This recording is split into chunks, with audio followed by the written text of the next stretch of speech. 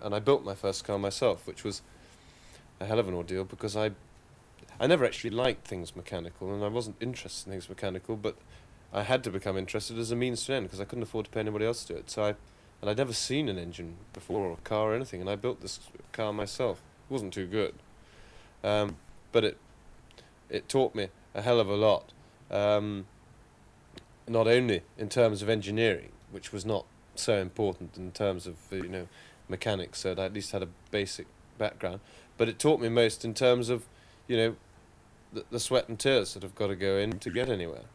Well, what's the next stage after that? So you've done your labouring, you've built your car. What do you do well, next? then I that that uh, I, I, it was a mini, and I built it from bits and breakers yards, and then I sold that. But A guy came and made me an offer, and I bought a Formula Ford car, single seater, on hire purchase. I mean, this isn't necessarily a model career for anybody else, but it's the the principle's the same. You've got to get your own car together, and um, you've got to start racing it. And now, so, for that, it is possible, you know, to raise enough money by hook or by crook somehow to do that, which I did by doing labouring jobs, saving up and getting it together. And then I raced this Formula Ford and I looked for sponsors because it was costing me far more than I could ever earn, you know, to run. I could never keep up, plus, plus the payments on the hire purchase that I'd done. But I gambled at that stage, which, um, you know, again, may or may not be wise, you know, for a young man if he's sort of got any commitments or anything like that, if he's got married or something like that. But I was 21 then, I had no commitments whatsoever. And, uh, you know, you there again, I think if you're going to get anywhere in life, you've got to, there's got to be a big gamble at some stage. And that was a big gamble because, uh, although, you know, it's not, a, it doesn't look like a lot of money now with the way that our dreaded pound has gone. But um, it was a lot of money then. And I stuck out, you know, 1,500 quid or something that I was going to have to pay off for three years if I'd written the car off in the first race. Well, so talking about bitterness, uh, professionally it's been quite a year for you, for you, hasn't it, with the Spanish Grand Prix being disqualified after you'd won, just because your car was, what is it, five-eighths of an inch too wide? That's right, yeah. I mean, we've had a few ups and downs, that being the biggest up and the biggest down of the year so far, all within the space of a couple of hours. I think the, the pace of life in Grand Prix racing now is very heavy, and uh, it is therefore difficult to have a stable home home life. I, I would like to have more of a home life, but uh, as I say, you know, I, am in a hurry to prove to, to prove my point and do what I have to do, and I hope that when I retire, uh, I'm obviously not going to do sit down and do nothing for the rest of my life because I'm too energetic a person, but I would like to think that um, I will have burnt off a bit of energy and can take a slightly more relaxed approach to life, and I hope that you know I'll have enough money not to have have to work like a fiend from a financial pressure point of view, I'd like to have a business and do something constructive, um, but I wouldn't like to be under pressure again. And this is why I'm doing it now, because, you know, hopefully when I'm 35, I can get, get out of the pressure of life, you know, because I will have done my bit now. It's a question of, you know, how do you want to do it? Do you want to get a steady pace for, for 70 years or whatever, or do you want to go flat out for 10 years and then relax? And I, and I rather like doing it that way. So you're planning to retire at about 35? Well, um, I'm planning to retire when the moment's right, but 30, 35 years old is seven years away for me now, and that's that's a lot of years in Grand Prix racing. And by me, if I can't uh, can't do what I've got to do within seven years, I don't think I'm going to do it by then. So I hope I will have stopped racing by then. The problem is the big the, the one problem is that you know it's like uh, you know Graham Hill's situation. Of course, uh, that I like it. I really like driving and I like racing and so that'll make it difficult to stop. But I hope that I can stop because I'd soon, you know, I would prefer to retire on my feet than on my back. Are you frightened of the idea of dying? And is it something, of um, course everyone must be, but is it something you actually think about when you're driving? Not when you're driving, no. I'm, I'm terrified of dying because uh, I'm having a jolly good time down here. And I really don't, don't want to change it in any way. I don't want to take, take the risk. I don't know what's going to happen when I'm dead, you know. I don't want to take the risk. I'm happy as I am. Um, when actually driving, when it is frightening, is when you lie, you know, sit at home, and in in the very serious, sober moments. And I try to have these quite often to think about the thing and say, well, you know, no emotional um, sort of thoughts to influence yourself, like being at a race meeting and under pressure. But just say to yourself, well, look, these are the odds. You know, there is a chance that you can get killed, and it's such and such a chance, maybe, you know, 40% or 50% in your the rest of your career, is it worth taking that that risk? Because when I'm racing, I mean, and I have, and I then decide, I have always done so far, that it's worth carrying on because there are things that The odds aren't stacked me. against you yet. Well, there are things. No, the odds are, are always. They're, they're never as good as they as I'd like them to be, um, but there are things inside me that would make me very difficult to live with myself for the rest of my life if I stopped now. I couldn't do that. I, I'm, I'm, you know, I'm so near yet so far, and I got to get that extra bit. Um, but you know, I will stop when I have to. But when I get to the track, you know, the decision is made. I've decided that I'm continuing for a bit, so there isn't any point in getting worried or getting frightened. I've got plenty of things to think about as it is, and I've got a job to do, and it would be um, restrictive to my driving and unprofessional and generally wrong to start worrying about the danger ele- element of it, you know, when one's physically in the car. What's the closest you've been to death? Um, well, I suppose the worst accident I ever had racing was um, at Zandvoort in 1971 when I was driving in Holland. I was driving in a Formula 3 race there and I tangled wheels with another car in, in, in the middle of the track, in fact. And I didn't actually hit anything, but my car just took off the wheels. You know, the tyres going in opposite directions when they touch. So one car gets flipped in the air, which was mine, turned over and came crashing down. I landed on my head and was skating along at about 70 or 80 miles an hour in the middle of the track upside down and the rollover bar had snapped, so I was being sort of totally squashed in the car. But by various miracles, I was very lucky, and I managed to escape largely unscathed from that. I had a bit of a This is at Zandvoort. yeah. What were you thinking at the time? And do you ha- did you have time to have any emotional reaction to what was happening? Um, no, in the, in an accident. Well, I did then.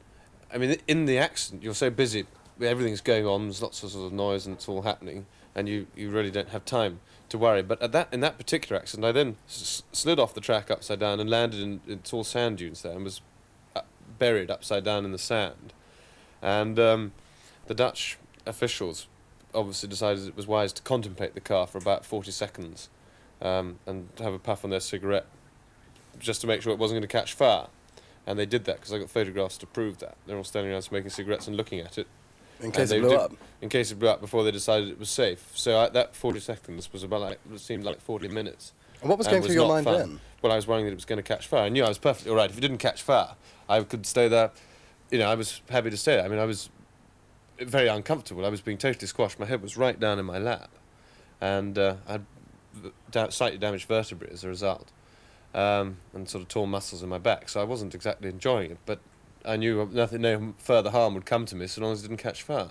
But I also knew, which was really frightening, that if it did catch fire, they would run in the other direction. I knew that for absolutely for sure. What about the pressures from Susie, from your family, after an accident like that? Is there enormous pressure to try and get you to stop?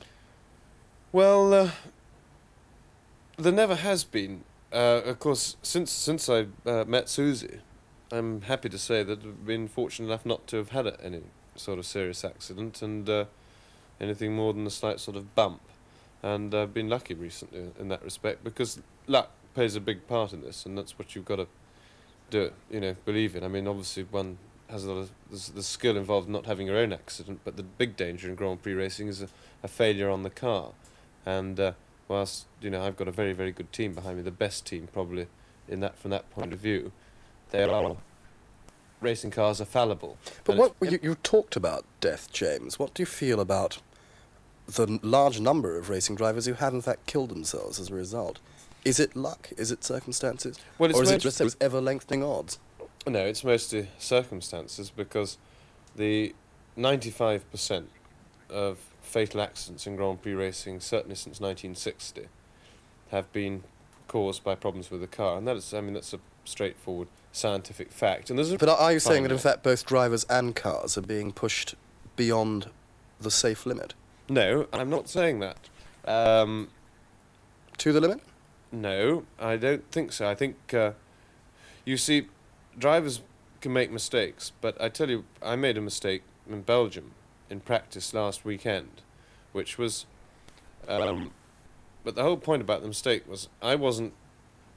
I did not make the mistake by, or rather, put like this: I was trying to go fast at the time, but I wouldn't have gone any quicker if I'd driven in such a way that I would never have made that mistake in the corner. I had a small accident, right?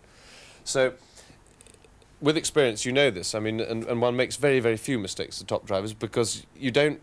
Um, going to the limit that's going to cause you a possible accident doesn't make you any quicker around the track. So there's no advantage in driving like that. You see, there's no advantage in and plus and talking about in a race with contact with other cars. There's no advantage in hitting another car because you're liable to put yourself out of the race.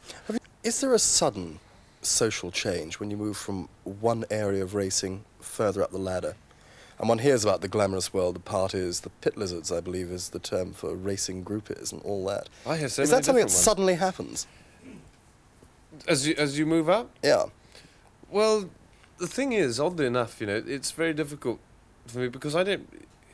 I'm rather looking forward to. Re- it's one of the things I'm looking forward to when I retire. Then I'll be able to go to all the parties and have all the fun, because they tend to have that sort of thing. All the, the, the glamour and the the social thing, things are mainly things that happen at race meetings and things where, quite frankly, when one's driving, one there's no way you can get involved because, um, I mean, I just wouldn't enjoy it anyway because I'm concentrating on, on the race and it's a total it is a total concentration thing for about four days. In fact, I I'm starting building up now already. I start usually on about Tuesday or Wednesday before about Wednesday before a Grand Prix. I start building up. To get back to that, James, you, you were talking earlier about the odds and how they lengthen. As each day goes by, as another mile of track goes under you, the odds against you are getting higher. Do you think there is an, an inevitable point where if you go on for long enough, you must die? Um, well, I don't think you could say that. Um, but it's just a question. No, as I say, I think one can only say that you know the more miles you do, the greater the odds lengthen by sheer arithmetic. But what they are, you know, we can't really work out. There's no, there's really no way of um, producing statistics or working these things out. So I really don't know. but uh, what I do, as I say, is I'll try and keep my innings reason- reasonably short and sensible, and I'll also, as I do already, um, try and contribute constructively to the improvement of safety things in motor racing for, for, for my own benefit and also for the benefit of, of people in the future. If you got killed tomorrow, what would you miss most? Mm, yeah, that's tricky. I'm not allowed to talk about that on telly. I think. I'd miss lots of things actually. What will you have done that you'll have been most proud of? Um, I will. Well, I'll miss not not having won the world championship. That's for sure. Very much so. Particularly, you know, if one's, you know, because I feel I'm very near to it now. I don't mean for this year, but in my career, on a on, on a more overall view, I feel I'm very close to it. I feel I'm very capable of doing it, and ready to do it. So that'll upset me that I didn't make it. That I didn't. That that, that I was robbed. You know, beaten by the clock, as it were. Um, well, I shall miss all the all the fun that I have in life. I mean, I have a lot of fun. I mean, I enjoy my work. It's all fun to me, and I enjoy being at home. I enjoy my golf and all the things I do. Are you proud of what you've done so far? Um, well, it's a funny thing, you know, because if you're really candid about it, n- I'm not particularly. Um, I mean, I'm not nearly. I mean, when I was, you know, so the four or five years ago, when I was looking at Grand Prix drivers then from like this, and I was thinking they were really wonderful people and fantastic. Thinking, I mean, you know, if I could be, I was thinking if I could be half as good as them, I'd be really proud of myself. And um, I don't know whether I don't know whether it's it's difficult to get it across, but I'm not particularly because the thing is when you can do something well, which presumably I can because of the results, right? You don't feel very clever about it. I mean, do you feel you're doing a very good job interviewing me? You probably don't because it comes easily to you, you see. But there are lots of people who couldn't do that. Well, because I'm lucky enough to have something that comes easily to me, um, you know, it doesn't matter. I feel pleased with myself actually when I when I do a really good job that was really hard work, where I really worked for it. Right? Do you feel then that, that motor racing isn't a particularly worthy sport, that it's just a, a quick means to make money? no, being a I think this is applicable to um, to all walks of life.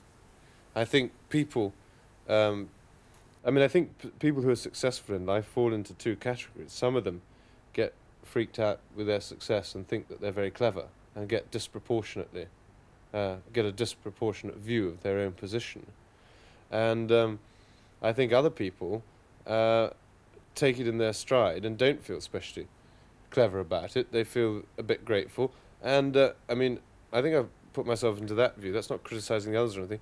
I mean, I, I take advantage of it. Are you a playboy? Um, Define a playboy. I don't know. I like playing. James, very briefly, you put racing before whatever your parents might have thought of it as a dangerous sport. hmm You've put it before your marriage. Would you have succeeded if you hadn't been quite that ruthless? No. I don't James think so. Thank you very much. Thanks.